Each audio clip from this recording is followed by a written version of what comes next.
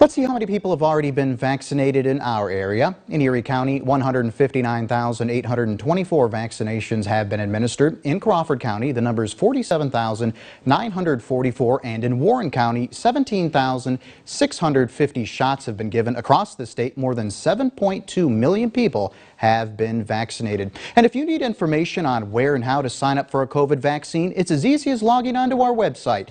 Visit yourerie.com and click on this link. Here's a look at the latest COVID-19 cases for Erie and the surrounding area. State Department of Health reporting 77 new COVID-19 cases today in Erie County. Crawford County up 12 cases, Warren County up 6. Chautauqua County continues to report a total of 8,654 cases. Ashtabula County up 25. Pennsylvania reporting 5,114 new cases and 39 additional deaths.